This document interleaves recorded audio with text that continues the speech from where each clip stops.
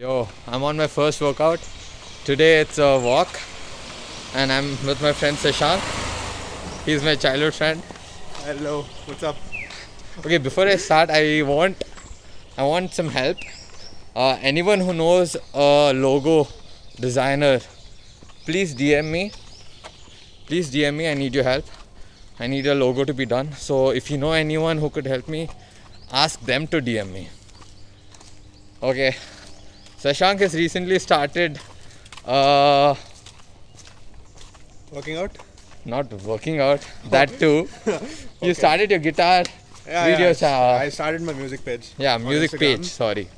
Yes. Yeah. How's that going? By the Uh, way, amazing music. You'll love it. Thanks for that, buddy. so, it's got off a pretty good start. Just have to keep making more. Not stop. Not stopping is the one thing I should do. Uh huh. It the page name is Six String Soul. Guys, please follow. Go do that. Amazing. You'll love it. So re- we were we were walking from the past 35 minutes. We spoke a lot, and this guy discovered his why. He discovered why is he doing the Instagram page and why is he going to start a YouTube page where he's going to upload all of it. Can you t- share them your why? Uh, and I discovered the why thanks to Suraj. If not for him, I wouldn't have got the answer. That's sweet of you, man.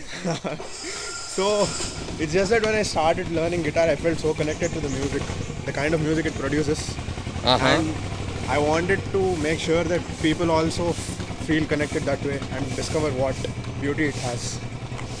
That's absolutely beautiful, man. The reason why you need a why is if your why is not strong enough, you're not gonna stick with that thing for long enough. That's how simple it is. And I'll give you a background on Sashank. Okay? Is that what, fine? what background? Background on Sashank. Relationship between me and Sashank. Okay. Yeah. uh, our moms are pretty good friends. So because of that, we started, uh, you know, hanging out a lot, and then we became pretty good fri- friends. We did a lot of shit together, and we went for the same drawing classes together, Oh my where I absolutely sucked, and I hated every second of drawing. So did he, I guess. Did you? I don't, I don't, I don't even remember. I remember because I remember I, going, but I don't remember the face of that guy. Som Shekhar Rao. So, oh, That's his name. That's his name, yeah. Oh my god, fucked up times. And there was another friend of ours who was absolutely brilliant at uh, drawing and painting. Who?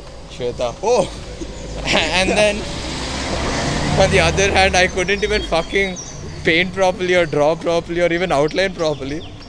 So there was a lot of shit there.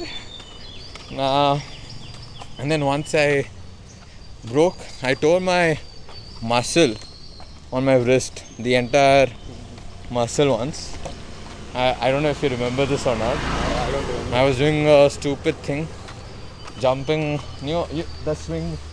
I guess we can go there and I- show it to them. I remember. We Oh, by the way, we, we are Oh right God. next to our school where we went. Sorry, what were you saying? I said I'll come this way. No, before that. We used to do that stunts near the swing in school. Yeah. Oh, that's when you. I remember. I remember. Yes, I yes. yes. fucked up. And it was probably the stupidest thing I've done. Oh my god, it pains so much. But I- still now. no, no, not anymore. And then I guess we had exams then, I guess. But this was on my left hand, so I had to write them. Sucks. Will they let, let us inside the school? No, no, we can shoot it from outside, right? Yeah, we can shoot it. Yep. The watchman will be thinking, what the fuck are these guys up to? Filming in the school. Oh no, by the way, that swing is gone. They've changed the place. Oh fuck. They removed the swing. Bad news.